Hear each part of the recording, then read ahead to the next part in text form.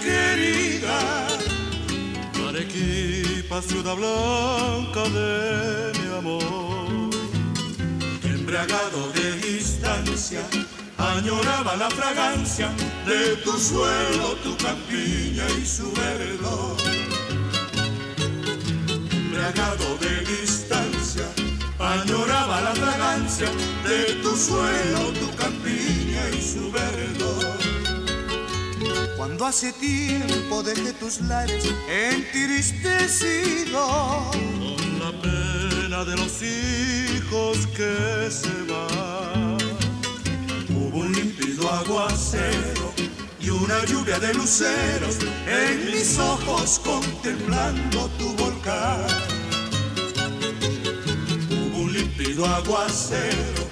y una lluvia de luceros en mis ojos contemplando tu volcán. Hoy que regreso, peregrino fatigado, con el corazón cansado de buscar felicidad. Arequipa, soy feliz en tu regazo, con el beso y el abrazo que me otorga tu bondad. Cuando yo muera, que me entierren en tu suelo y algún día bajo el cielo unas flores crecerán. Será mi alma. Es muy bonito viajar y conocer parte de Arequipa, que también es amplio, llegar de repente a Orcopampa, donde hay sus baños termales, estar en Moquegua y saborear su comida típica en Moquegua, sus macerados, interesante. Y qué mejor si gozamos de un reportaje agradeciendo a la conductora Benito Llerena Hijos y conmigo será hasta mañana. Chao.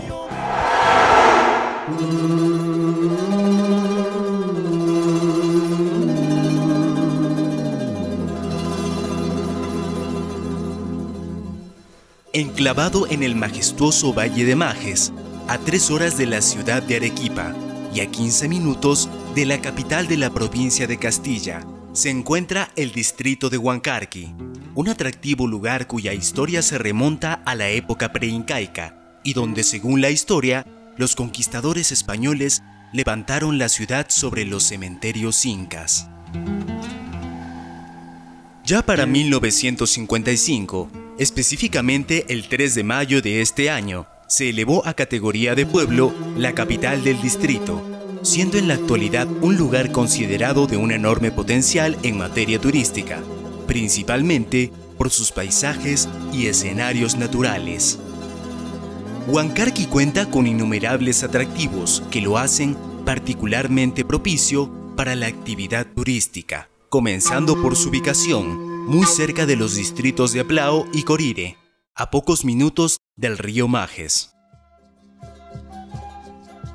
La ubicación de su plaza principal, de un amigable diseño, invita al descanso y esparcimiento por su vistosa vegetación, cómodas bancas y árboles que protegen de los rayos del sol. Permite apreciar el entorno donde destacan los cerros de caprichosas formaciones rocosas, llamado bosque de piedras o gigantes petrificados. Las casas antiguas, las calles estrechas y muchas de ellas empinadas, siendo la iglesia junto con el edificio de la municipalidad. Son las construcciones más grandes que se pueden apreciar en el pueblo.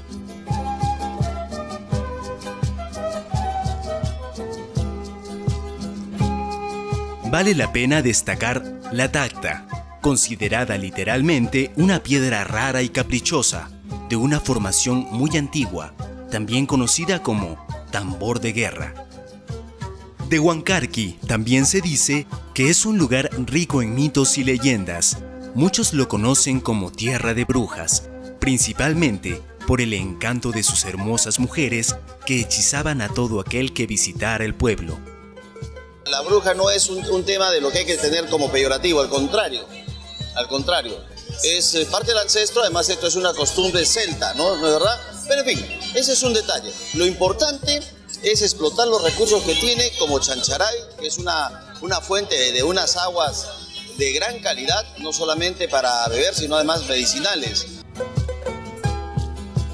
Estas lagunas, conocidas como baños Chancharay, son quizá el mayor atractivo turístico de Huancarqui. Sus cristalinas aguas, provenientes del Cerro Tomaca, desembocan en unas espectaculares pozas que han sido aprovechadas como balneario por los pobladores del lugar, por ser aguas de origen volcánico, se asegura que poseen propiedades medicinales y curativas. Aquí tenemos una inmensa gastronomía, los camarones. Tenemos la ruta del pisco, a la cual también queremos apoyar e impulsar. Yo agradezco que ustedes vengan aquí y se interesen por nosotros, por el Valle de Majes. Tenemos mucho que dar a la región Arequipa y a todo el país entero.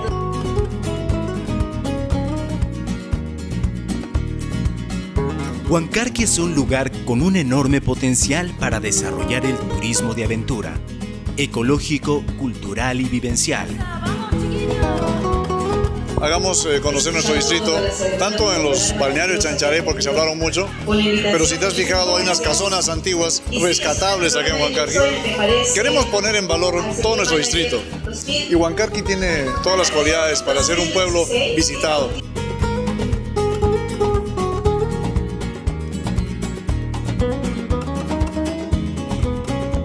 Sus nuevas autoridades, encabezadas por el recién electo, el alcalde Flavio Martínez, se han comprometido ante todo el pueblo durante su acto de juramentación a preservar, promover e impulsar el desarrollo del distrito mediante políticas que fomenten el turismo a través de una infraestructura adecuada, la formación y capacitación de personal en el área, la creación de puestos de trabajo y estímulo al comercio, que vayan modelando de manera sostenida y sustentable una economía que garantice el proceso y bienestar para toda la población.